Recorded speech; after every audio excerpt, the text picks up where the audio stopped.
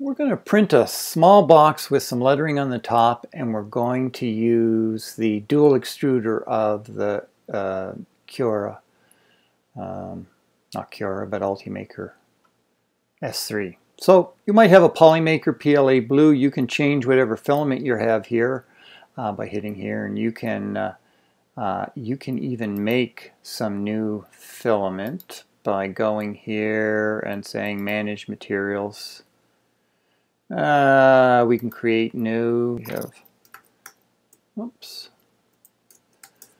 Polymaker, and let's suppose the colors just, uh, we're going to use a red color. Hit OK.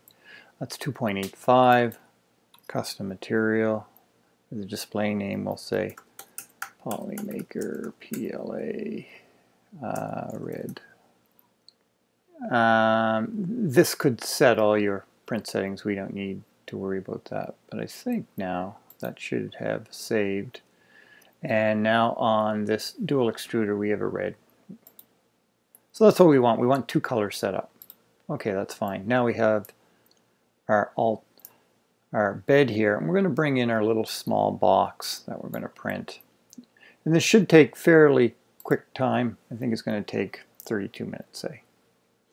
We can change. These are actually designed to be printed at 0.3, so you can go to extra fast 0.3. That may have been the extra fast speed. Um, but there's where you change the la layer height. Uh, I don't think you need to worry too much about this stuff. 15% infill. Nah, we could have a little uh, higher. I'm not too worried about that, but number of walls, I want at least three perimeters uh, wall line count. So I want that, let's put that to four because I don't want any in, too much infill. 15%, we're going to put that at 20%. Uh, so those are the print settings. And if we sliced it, it looks something like that. And we could bring that up. I don't want to see material color, I want to see color scheme or line type. So that will show us some of the features here. Now we've got a brim set up. We don't want a brim. We don't need a brim. So if we go down here, we can turn our brim off. Now we've got a dual extruder. The layers slice first. Yeah, all I did was turn the brim off. Um, we're using our dual extruder, but we don't uh, we aren't using a prime tower. So I don't need to enable this, the prime blob. I don't need to generate support. Uh, so that should be okay. Should be able to slice this. Should slice okay. Yeah, and I don't have a brim around it. That's fine. But what we need to do now is with this model, and if I just click on the model there, we need to um, set up a couple of what are called support blockers. You would think you could just say, hey, extruder 1, I want you to do so many layers up, and extruder 2, I want you to do so many layers. But you can't do that. You've got to set up two uh, blocks uh, around our model. One block we're going to print with extruder 1, another block we're going to print with extruder 2. So how we do that is we select our model.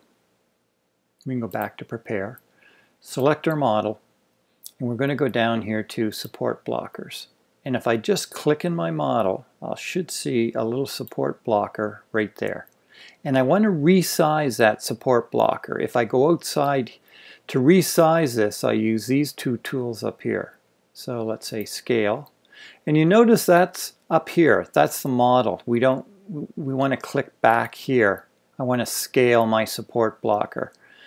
If you're up here like this, you may think you're scaling your support blocker, but you're not. You're scaling your model. You don't want to do that. And we're going to drag this out, and I don't want uniform scaling. I'll turn that off. I want to go out this way, I want to go out this way, just enough to cover my model. And you can tell and look at that by the that view. We want to move this around so I've got my whole model covered Boy, I'll tell you, this is clunky to do this. Not quite big enough. I got to go back to scaling. I got to get this a little bigger. Okay, now I know you can measure this in Fusion or other things, but I know that from the very bottom to the very top, just below the lettering here, is 29 millimeters. So one of the things I can do here in my scale is I'm going to say I want my Z to be exactly 29 millimeters. Uh, and I want to print this wall here. I want to make sure that's uh, uh, that's in, so let's just say 29.05. So I want to make sure only the lettering is, uh, is going to change color. So that's just the height of the Z, and this will allow me here to set where that little block is. Like I want my Z right on the ground, so I'm going to put that at zero. And what you'll see here, you'll notice that there's this little piece at the top, and that's really the piece that I want in the second color. But we've got to do something else here. This is a support blocker. It's just really setting an area within the model.